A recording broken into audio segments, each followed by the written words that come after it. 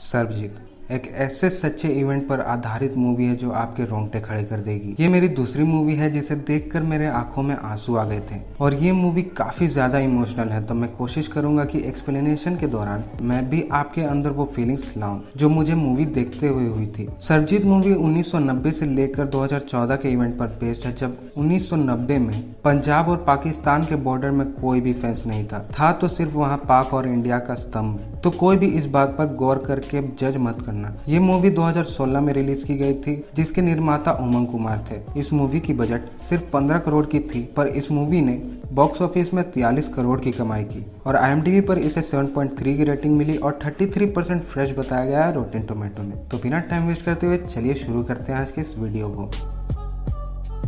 तो मूवी के शुरुआत में हम देखते हैं कि पूरी पिंड सरजीत को ढूंढ रही होती है, क्योंकि काफ़ी देर से वो घर नहीं आया था। और ये सरजीत की बड़ी बहन दलबीर कौर थी, और पाँच दिन बीत चुके थे, और अभी तक सरजीत का कोई पता नहीं था। और पंचायत में भी सब उसके बारे में गलत इल्ज़ाम लगा रहे होते हैं कि शायद उसका चक्कर किसी और लड़की के साथ चल रहा होगा और वो किसी और के साथ भाग गया होगा, जो काफ़ी बुरा एक्सपीरियंस था। और ये सरजीत की वाइफ सुखप्रीत कौर थी, जिनके दो बेटी भी थी। और वो यहाँ से घर जाना ही सही समझते हैं। अब मूवी पास्ट की झलकियाँ दिखाती है, जहाँ दलबीर के पास्ट में भी काफ़ी कुछ हुआ था। पहले तो सारा परिवार काफ़ी खुश होता है, क्योंकि दलबीर प्रेग्नेंट थी। पर कुछ महीनों बाद पता चलता है कि दलबीर की बेटी नहीं बच सकी। और इतना ही नहीं, दलबीर अब माँ भी नहीं बन सकती थी, क्योंकि उसे कुछ बायोलॉजिकल प्रॉब्लम हो चुका था। और कुछ साल बाद दलबीर का पति उसे घर से भी निकाल देता है, क्योंकि अब दलबीर का यहाँ पर क्या काम? अब मूवी वापस प्रेजेंट में आती है, जहाँ पूरा परिवार सरजीत को ढूँढने में लगा हुआ था। ढूंढते ढूंढते आठ महीने निकल चुके थे, और आठ महीने के बाद दलबीर आती है एक पंडित जी के पास, जो उसे सिग्नल देता है कि सरजीत किसी दूसरे मुल्क में है। और कुछ दिन बाद पाकिस्तान से एक चिट्ठी पोस्ट ऑफ़िस में आती है, और दलबीर दौड़ कर चिट्ठी पढ़ने जाती है। और चिट्ठी पढ़ने के दौरान ये पता चलता है कि सरजीत दलबीर को ऑफ़िस छोड़ने गया था तो वो वापस आने में काफ़ी ज़्यादा लेट कर चुका था, जिस कारण दलबीर बस से घर चली जाती है और वहीं उसकी नज़र सरजीत पर पड़ती है, जो कुश्ती खेलने में मग्न था। और इस बात से दलबीर काफ़ी नाराज़ होती है और वो सरजीत को घर जाने से मना करती है। और इतने में सरजीत का दोस्त वहाँ दारू की लालच देकर उसे अपने साथ ले जाता है और दोनों दारू के नशे में इतना मग्न हो जाते हैं कि समय का पता नहीं चलता। और उसी खेत के बगल में वो दो देशों के मुल्क के बीच का स्तंभ था, जिस पर सरजीत गौर नहीं करता और सरजीत नशे में पाकिस्तान घुस जाता है और वहीं पाकिस्तान के कुछ सिपाही आ जाते हैं और सरजीत को अपने साथ ले जाते हैं। और पाकिस्तान में सरजीत को एक बक्से में बंद कर दिया जाता है और वहीं और भी कई वैसे ही बक्से पड़े थे जहाँ और भी हिंदुस्तानी कैदी थे। काफ़ी चीख चिल्लाने के बाद भी कोई वहाँ नहीं आता और कुछ दिनों के बाद वहाँ कुछ सिपाही तो आते तो हैं, पर बस उस बक्से में चूहे छोड़ने के लिए। और वो सिपाही बस उसे यही पूछते हैं कि तुम वही हिंदुस्तानी आतंकवादी रंजीत सिंह हो ना, जो पाकिस्तान में बम ब्लास्ट करवा रहा है। मजबूरन उसे हाँ कहना पड़ता है, क्योंकि उसके पास और कोई चारा नहीं था। अगर वो फिर से ना कहता तो उसे फिर से उसी बक्से में डाल दिया जाता। खैर, काफ़ी महीनों के बाद उसकी वीडियो बनाई जाती है, जहाँ वो एक्सेप्ट करता है की वो रंजीत सिंह है और उसी ने पाकिस्तान में बम ब्लास्ट करवाए थे। और फिर उसके साथ कई कैदियों को कहीं और शिफ्ट कर दिया जाता है, जहाँ एक कैदी का एक वकील भी था। उसी से सरजीत ने पेपर्स मांगा था और खत दलबीर कौर तक पहुँचाया था। और यहाँ दलबीर खत पोस्ट में डाल ही रही होती है कि तभी एक मुसलमान लड़का उसे बताता है कि सरजीत टीवी पर आ रहा है, जिसे सुनकर दलबीर वहाँ चली जाती है। वो घंटों से घंटों रात हो जाती है, पर दोबारा वो न्यूज़ वापस नहीं आती। और तभी वो मुसलमान लड़का दलबीर को न्यूज़पेपर दिखाता है। जहाँ सरजीत की फ़ोटो छपी थी। वो उर्दू में लिखी थी, जो दलबीर को कुछ समझ नहीं आ रहा था। और वो लड़का उसे बताता है कि सरजीत नहीं, रंजीत सिंह को फांसी की सजा सुनाई गई है। और वो न्यूज़ वो अपने पिता से पूछती है, जिन्हें उर्दू आती थी। वो डिटेल में ये बताते हैं कि अभी सिर्फ़ सजा सुनाई गई है। डेट अभी ऐलान नहीं किया गया है। तो अभी हम उसे बचा सकते हैं। और ये सुनकर दलबीर वहाँ से नेता के पास चली जाती है, पर वहाँ से पुलिस उसे बताते हैं कि ये बहुत बड़ा केस है, जिसमें ये छोटे मोटे के नेता कुछ नहीं करने वाले। ये प्रधानमंत्री के लेवल का केस है और दलबीर अकेले दिल्ली निकल जाती है और वहाँ उसे पता चलता है कि ऐसे वो प्रधानमंत्री से नहीं मिल सकती। उनसे अपॉइंटमेंट लेना पड़ेगा।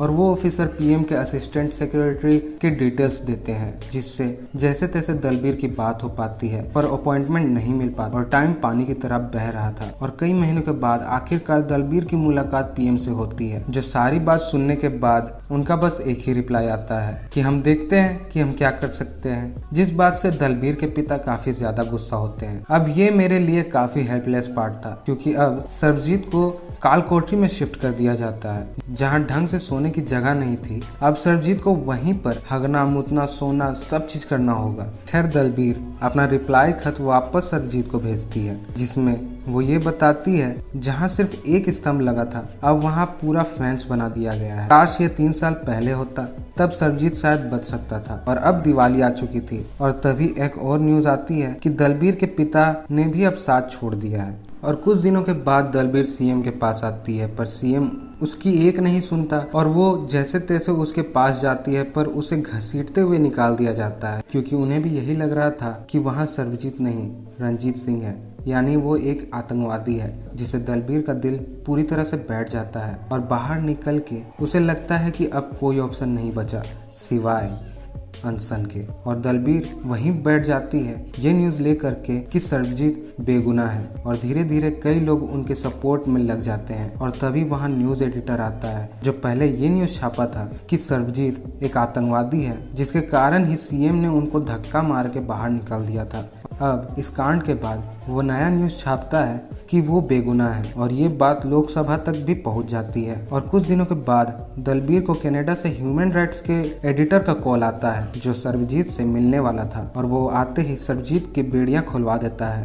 आप सोच सकते हैं कि तीन साल की बेड़ियाँ अब जाकर निकली है। खैर वो एक बॉक्स लेकर आता है जिसमें खाना और उसकी बेटिया की पेंटिंग थी। और ये काफ़ी ज़्यादा इमोशनल सीन था इस मूवी का। और दूसरी तरफ़ हम दिल्ली में हो रहे जस्टिस फॉर सरजीत का इवेंट देखते हैं, जहाँ दलबीर अपने भाषण के द्वारा दोनों मुल्कों को जगह देती है और कई हिंदुस्तानी और पाकिस्तानी को अपने मुल्क भेजा जाता है। पर पाकिस्तान में अलग ही माहौल था, जहाँ लोग मरने मारने में उतर आए थे। क्योंकि उन्हें लग रहा था कि सरबजीत एक आतंकवादी है, जिसके कारण उसके अपने लोग मर चुके थे। और वो सरबजीत को भी रिहा करने से मना करते हैं और पाकिस्तान के इस हालत से सरबजीत की फांसी की डेट दे दी जाती है, जो आज से तीस दिन की बात की थी, जिससे दलबीर की पैरों तले ज़मीन खिसक जाती है। और यहाँ दलबीर अपना अगला कदम रखती है और वो कई बच्चों के साथ सीएम के रास्ते पर बैठ जाती है और उन्हें पाकिस्तान का वीज़ा दे दिया जाता है। और पाकिस्तान पहुँचने पर वहाँ एक ऑफिसर उनकी मदद करता है ताकि वो सरबजीत से मिल सके। और सरबजीत को भी बताया जाता है कि उसकी फैमिली उससे मिलने आ रही है, जिस बात से सरबजीत काफ़ी ज़्यादा खुश हो जाता है। और वो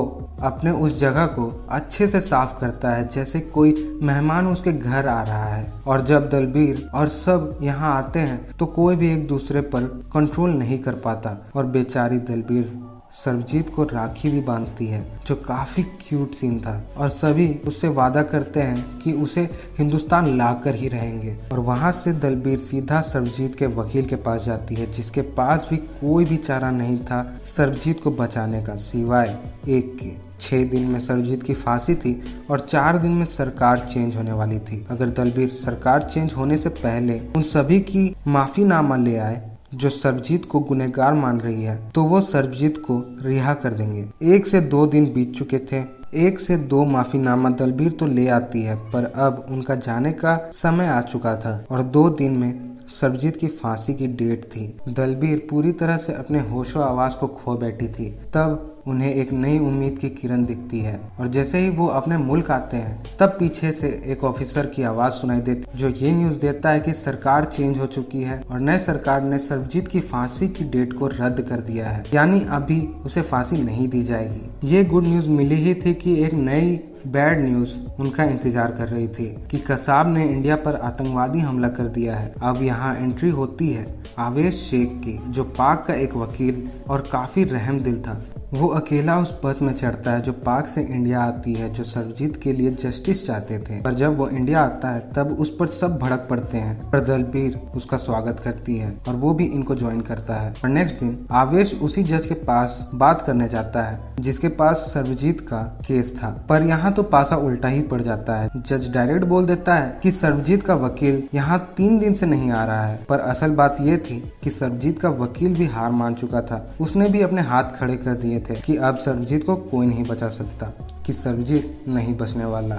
इस वजह से आवेश ये केस टेक ओवर कर लेता है और वो सिग्नेचर के लिए सर्वजीत के पास आता है और सर्वजीत से वादा करता है कि अगली बार जब वो यहाँ आएगा तो खुशखबरी के साथ आएगा और वो ये सारी बात दलबीर को भी बताता है। और आफ्टर केस स्टडी के बाद आवेश यही राय देता है कि सब जस्टिस के पीछे पड़े हुए हैं, पर कोई भी असली रंजीत सिंह के बारे में बात भी नहीं कर रहा है। सबसे पहले तो उन्हें रंजीत सिंह को खोजना पड़ेगा और आवेश अपना लैपटॉप उन्हें दे देता है, ताकि वो असली रंजीत को ढूंढ निकाले। और कनेडा में बात करने पर पता चलता है कि रंजीत कई जगहों में नाम बदल कर रह रहा है और कुछ दिनों के बाद बड़ी बेटी की शादी की तारीख भी पक्की हो जाती है। और अब तो आराम से खत सरबजीत तक पहुँचाया जा रहा था वकील के द्वारा। और अब शादी भी हो चुकी थी और कुछ दिन के बाद असली रंजीत भी पकड़ा गया था। पर पुलिस स्टेशन में उसका एक अलग ही एटीट्यूड दिख रहा था, क्योंकि वो ये कहता है कि उसे अरेस्ट नहीं किया गया। बल्कि वो खुद अरेस्ट हुआ है। पर यह बात पाकिस्तान को नहीं पसती, क्योंकि वो इंडिया में अरेस्ट हुआ था, यहाँ नहीं। पर ये साबित हो चुका था कि सर्वजीत बेगुनाह है। पर कुछ महीनों के बाद ये न्यूज़ आता है कि कसाब को फांसी दे दी गई है, जिस वजह से काफ़ी मशक्कत के बाद वकील बस एक ही वीज़ा दलबीर को दे पाता है और दलबीर अकेले वहाँ से सीधे सरबजीत के पास जाती है। और अब और अब तो सरबजीत भी हौसला खो चुका था। और वो दलबीर को ये कहता है कि अब कि अब वो काफ़ी ज़्यादा फ़ेमस हो चुकी है। हर जगह उसी के चर्चे हो रहे हैं और अब जो वो सरबजीत के लिए कर रही है, वो बाकी लोगों के लिए करे, क्योंकि उनकी भी फैमिली है, जिन्हें अपनों से मिलना है। और वहाँ से जब दलबीर बाहर आती है तो वो मीडिया को सुनाती है कि सरबजीत अगर दूसरी मुल्क से है तो क्या हुआ? वो भी तो आप ही का भाई है। तो कम से कम आप अपने भाई के लिए कदम उठाएँ, अपनी आवाज़ उठाएँ, और जब दलबीर को कोई रास्ता नहीं दिखता। तो वो वहाँ के मस्जिद जाती है और जब वो बाहर आती है, तब कई सारे औरतें उसे घेर लेती हैं ताकि उनके अपनों को वो वापस यहाँ ला सके। और वो यही करती भी है। और कुछ दिन के बाद ये न्यूज़ आती है, पाकिस्तान के राष्ट्रपति ने सर्वजीत को घर भेजने का अनाउंसमेंट कर दिया है। और ये न्यूज़ सुन के घर वाले बहुत ज़्यादा मतलब बहुत से भी बहुत ज़्यादा खुश होते हैं। और जब वो सरबजीत को लेने जाते हैं, तब वो तैयार होकर आ चुके थे। पर वो सरबजीत नहीं था। वो सुरजीत सिंह था, जो वापस अपने मुल्क में आया था और काफ़ी ज़्यादा बड़ी गलत फहमी पाकिस्तान से हो चुकी थी, जिस वजह से दलबीर सुसाइड अटेम्प्ट कर लेती है, पर वो बच जाती है। और सरबजीत की वाइफ उसे बताती है कि जो आज वापस पाक से यहाँ आया था वो 35 साल से पाक में सड़ रहा था। यहाँ तक कि उसके घर वाले भी उसे भूल चुके थे, पर वो वापस तो आया। तो अब हम यहाँ से हार नहीं मान सकते। और दूसरे ही पल, वो दिल्ली में एक बार फिर से अनशन पर जुड़ जाती है। और वहाँ के सीएम उन्हें दिलासा देते हैं कि उन्हें यानी सरबजीत को यहाँ लाया जाएगा। और दूसरे तरफ़ कुछ लोग वकील पर हमला कर देते हैं, जो तालिबान के लोग थे। और यहाँ सभी एकजुट हो चुके थे। और सबने यह कसम खा लिया था कि यहाँ अब सरबजीत को ला कर ही रहेंगे। अब बस एक सिग्नेचर दूर था सरबजीत, पर तभी वो पेन नीचे गिर जाता है। और दूसरी तरफ़ कुछ कैदी जो तालिबान के लोग थे, वो सरबजीत पर जानलेवा हमला कर देते हैं। और ये न्यूज़ सुनकर जब दलबीर सभी परिवार के साथ सरबजीत को लाने पाकिस्तान जाती है, तब सभी तालिबान के लोग और न्यूज़ रिपोर्टर उन्हें घेर लेते हैं। पर दलबीर अपनी ताकत दिखाते हुए आगे आती है, पर अब काफ़ी देर हो चुकी थी, क्योंकि इससे ज़्यादा सरबजीत तो क्या कोई भी नहीं सह पाता। और आखिरकार वो इंडिया आ ही जाता है। पर किसी ने ये एक्सपेक्ट नहीं किया था कि वो ऐसे इंडिया आएगा। पर यहाँ दलबीर रुकती नहीं। वो सारी चीज़ें करती है जो सरबजीत ने उसने करने को कहा था। और वो काफ़ी सारे मुसलमानों को वापस अपने मुल्क भेजती है और काफ़ी ज़्यादा हिंदुस्तानों को अपने मुल्क भी लाती है। और अब वकील को भी यहाँ से जाना पड़ा, जो अब स्वीडन में रहता है। और उसने वहाँ रहकर भी चार इंडियंस को वापस अपने मुल्क भेजा था। और अभी भी कई ऐसे लोग हैं जो किसी और मुल्क में फंसे हुए हैं, जिन्हें आवेश शेख जैसे वकील की ज़रूरत है और दलबीर जैसे हिम्मत की। खैर, अगर आपको वीडियो पसंद आई हो तो लाइक ज़रूर करना और अगर चाहते हो कि ये स्टोरी और भी कई लोगों तक पहुँचे तो प्लीज़ शेयर करें और चैनल पर नए हो तो सब्सक्राइब करना ना भूलें। मिलते हैं अगले मूवी एक्सप्लेनेशन में। तब तक के लिए टिल देन शुभ रात्रि